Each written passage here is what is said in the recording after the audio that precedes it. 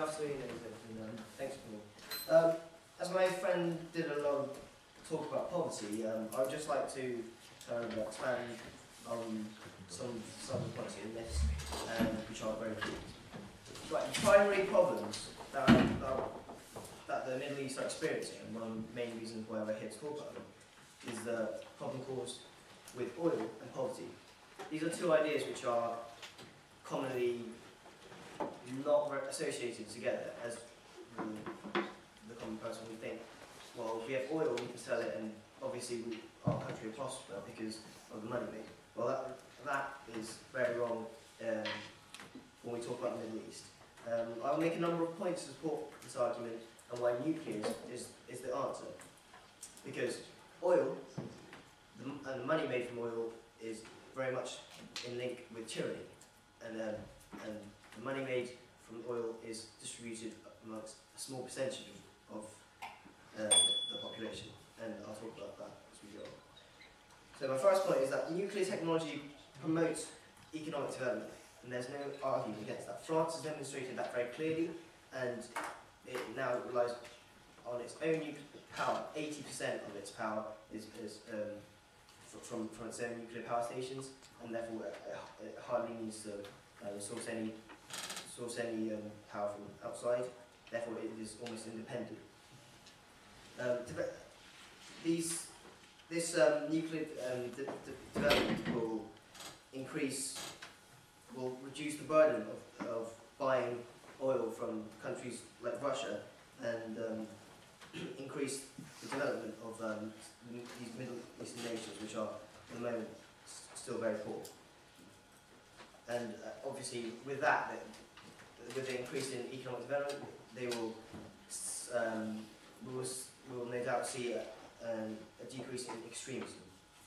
My second point is um, energy independence. Um, well, we, we see countries, um, vastly developed countries such as China, um, they are very dependent on countries such as Russia to provide energy. And this also applies to uh, nations such as Iran. If we can implement nuclear technology and, and nuclear power generation, this will reduce the independence, this will reduce the dependence um, from countries. And this, and this advantage means that there's less, less leverage, uh, political leverage um, associated with it. Um, also, uh, a, lot of, a lot of the problems stem from um, stem from the, of this political leverage um, means that this means that uh, we have um, many international problems um, with leadership. Okay, I would just like to give an overview to, uh, to, to everyone about um, the situation in the Middle East, uh, starting with Egypt and Jordan. We have, they are two developing nations um, trying to incorporate nuclear technology at the moment, trying to develop that. Um, Egypt is, very, is still quite a poor um, nation um, with increasing fundamentalism. And um, Jordan um, is still is, is still poor, but it is, a very stable and and both are allied with um, the US and the UK. So these two nations are trying to are making an effort to to move over to nuclear and, uh, as part of the energy generation um, to to develop and to develop uh, independence of, um, of of oil and to develop um, greater growth rates.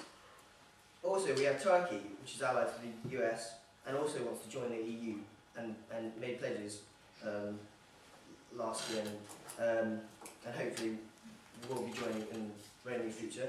They are trying to develop nuclear power with the intention to increase their increase their again increase their growth and reduce their independent uh, dependence on oil from countries such as Russia, which is um, another example is Israel.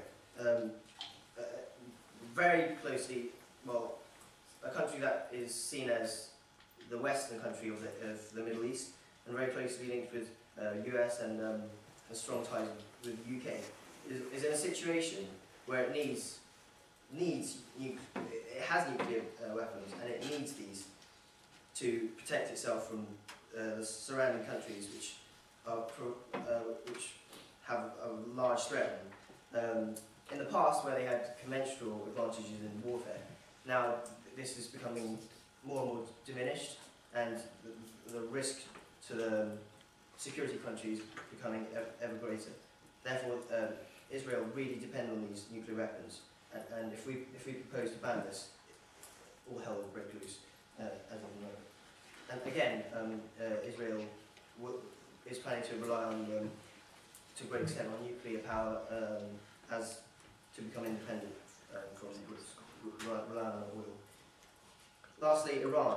Um, uh, as we, as, as I you obviously know, the problem out in Iran.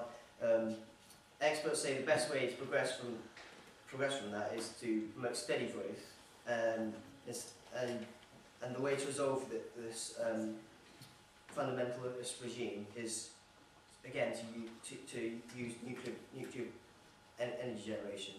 Um, uh, we have the currently even the people on ground in, Iran are which know a lot, lot about and ask about the situation and, and are not happy with the fundamentalist regime which is in power, even though it is supposedly a democracy. Um, they even support the um, development of nuclear power in Iran, despite